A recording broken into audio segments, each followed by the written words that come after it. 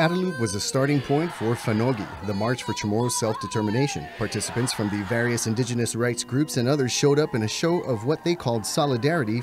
A well-attended Wexit rally this past weekend in Edmonton promoting separatism on the prairies. How's everybody doing since the election?